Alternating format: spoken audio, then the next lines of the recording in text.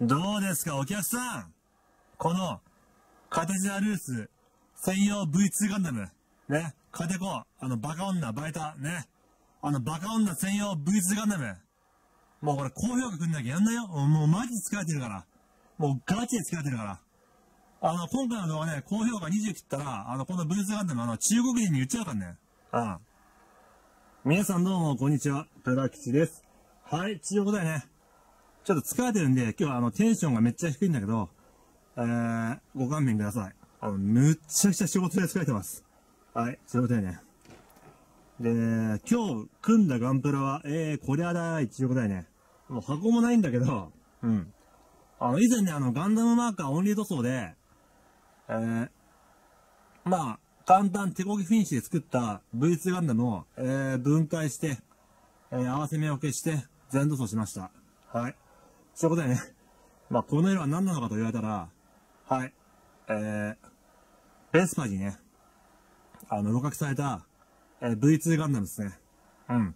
あの、ザンスカール帝国仕様の V2 ガンダム。カテチナ専用機。まあ、クロノグレでもいいけど、まあ、カテチナ専用機と続けましょうか。はい、ということでね、本日は今日、あの、HD V2 ガンダム、カテチナ専用機をね、じっくりと見ていきましょう。はい。まず、正面は、ケンネケンジ。側面は、ケンネケンジ。背面は、ケンネケンジ。好きなアーティストは、今も昔も口がまんねえ使っちゃって、カートもみ。あの、今日取り直さないからね。マジで。ガチで疲れてるから。はい。ということでね、まあ、こんな感じですよ。はい。どうすか？また変な色で塗りやがってると思ってるかもしんないけど、普通に塗った塗ったってつまんねえだろ。てかマジで口がまんで。だからすごくない俺。なんだかんだで週一全塗装だぜ、今。すげえだろ。俺も自分でもすげえと思ってるよ。はい。ということでね、今回のね、カラーリングは、まあ、こいつらですね。はい。オレンジと、いつものね、ブルー、S、ん ?FS35622 イスラエル砂漠迷彩色ですね。ほんとに口回んねえわ、今日。だからみんな高評価頼むぜ。ね。あの、マジで疲れてるから、俺。もうやんなくなるよ、マジで。全部そう。うん。はい、ちゅうことだよね。よいしょ。これね、今回ね、本当にね、早かったよ、これ。あの、全部で6時間じゃん。あの、一回組んじゃったのを、バラすところからカウントしてね。うん。バラして、えー、ガンダムマーカーを剥離して、で、合わせ目消して、全塗装、えー、組み立て、墨入れで、まあ、6時間ぐらいかな。うん。あの、こんな感じでね、あの、組んじゃってたんですよ。あの、まだガンプラが枯渇する前にこんな感じであの、ガンダムマーカーで作るっていうもう、とにかく積みプラを減らすために、とにかく作っちゃおうってんで、あの、こういう適当なね、あの、ガンダ、ガンダムマーカーで塗っておしまいみたいなのがあったんだけど、まあ、そのもったいねえからさ、やっぱ、うん。ばらして、全塗装っていうね、感じなんだけど、なのであの、V2 と V1 だとね、あの V2 の方が出来が悪いよ。あの、合わせ目がすげえある。うん、で、V1 は合わせ目があんまないんだよね。あの、前腕部とビームライフルぐらいで、うん。だからこいつはビームライフルと、まあ、両肩、両肩と、あと、ミノフスキードライブの部分にも出るし、ここにも足にも出るんだよ、すねの部分。前後に出るんだよね。がっつりと合わせ目が。うん。あと、この、肘の部分かな。肘の部分に合わせ目が出ます。合わせ目がすんげえ多い。うん。で、まあ別に、まあ大変でもなんでもないんだけど、あの、ミノフスキードライブのところ。これね、あの V2 ガンダムの萌えポイントなんだけど、この萌えポイント、あの、パーツ分割されてないんだよ。迷ったよ、ぶっちゃけ塗ろう、塗ろうかどうか。あの、ごまかして、あの、映さないように撮影すればいいかなと思ったけど、塗り分けましたね。で塗るときはね、あの、イエロー先に塗った方がいいです。うん。あの、オレンジ先に塗るとね、あの、マスキング大変。うん。イエローを先に塗ってマスキングする分には直線で済むんでね。うん。あの、オレンジの方が入り組んでるから、うん、マスキング難しいから、うん、イエロー先に塗った方がいい。うん、こう、パーツ分割してしてほしかったね。うん。もう、しょうがない。こう、V2 ガンダムの萌えポイントだからね。はい。そんな感じで。顔もね、ちっちゃいね。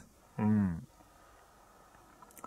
ビームライフルこれ多分 KPS だったのかなちょっとわかんないけど、瞬着で消したけど。うん。今回まあ、瞬着で、全部合わせ目消しましたけど、瞬着で消すの好きじゃねえんだよね、俺。あの、なんだろう、まあ、スナップフィットだからそうそうないけど、パキって湧いちゃう時があるから、うん。にしても、組みやすいね。ああ、組みやすいのは、ドーベンウルフも作ってんだけど、もう3週間前からいじってんだけど、全然終んねえの、ドーベンウルフ。おめえ、ガレージキットかよっていうぐらい愛が悪くてさ、うん、段差隙間、もう合わせ目、そしてパーツの精度も悪くて、まあしょうがないんだけどね。あの掃除なもんだから。うん。ギドマックといい、ドーベルフといい、もう厄介。でもね、ほんと、まあ、前回作った RG、RG じゃねえや、あの、エントリーグレード、ニューガンダムほどじゃないけど、これも組みやすいよ。組みやすい。うん。もう本当にね、あの、ギドマックなんて作ってる場合じゃねえから。うん。ギドマックお前、反省するよ、お前。前回に続き反省しろ。お前、手間かかりすぎ。うん。ってことでね。最後にちょっといろいろ並べてみようかな。まずこれ V2 ガンダムと、その、前回作ったエンチョリーグレードのニューガンダム。こんな違うんだよ。同じ144分の1で。これやばいだろ、これ。超できるだろ。うん。まあ、ね。宇宙世紀で、まあ、あの、ペーナルペイとかさ、その、何？規制ガンダムとか後付けのね、ガンダムを除けば、うん。まあ、テレビシリーズで言えば、まあ、一番でかいガンダムと、まあ、一番ちっちゃいガンダムじゃないの。うん。まあ、最高ガンダムとか別だからないの。うん。普通の、え、人型のガンダムで一番大きいやつ、一番ちっちゃいやつ、ってことでいいんじゃないの？多分。うん。はい、どこだよね。V、V はまあまあ変わんないんだよな。大きさはね。うん、全高はね。うん、こんな感じですね。はい。で、なんだ？あの、この V2 ガンダムなんだけどね。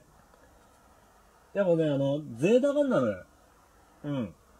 このゼータガンダムを超えるね、短期での航空能力をね、持った機体はね、やっぱ V2 が出るまでいなかったんじゃない？うん。やっぱ短期での航空能力はゼータガンダムはすごい。うん。だって空飛べるんだもん、大気圏内で。うん。でも、あの、やっぱ V2 ガンダムってやっぱすごいんだよね。うん。だからその、まあ、何気にさ、V ガンダムとかって空飛べんじゃん、こいつら。空飛べるじゃん、普通に。だからすごいよね。うん。あの、大気圏内で普通に空飛べるっていうのはね。うん。あと、あの、ザウスカール帝国の機体ってさ、ビームローターっていう惰性の使わないとさ、飛べねえじゃん。うん、あれ。今でこそ好きだけど、当時マジ惰性と思った。大会してんじゃんと思ったもん、当時。うん。はい。まあそんな感じでね。はい、V2 ガンダムでしたけど。いかがだったでしょうかこの形の専用機。ね。うん。ちょっと疲れちゃってけど、ちょっと今日かなり適当な動画なんだけど、後でね、あの、何？この V1 も作るんで、あの、次回ちなみに V1 だから。うん、V1 だから。その時ちょっと合わせてもう一回、もう一回ちゃんとレビューするから。うん。そう。マジでちょっと疲れすぎちゃって、ちょっとダメだわ。これ以上ちょっと無理だわ。はい。しょうがないね。そんな疲れてるのに全塗装を週一でやってる俺に対してね、あの、高評価と、あの応援のコメントお願いしますね。はい。そういうことでね、えー、プラキチでした。バイバイ。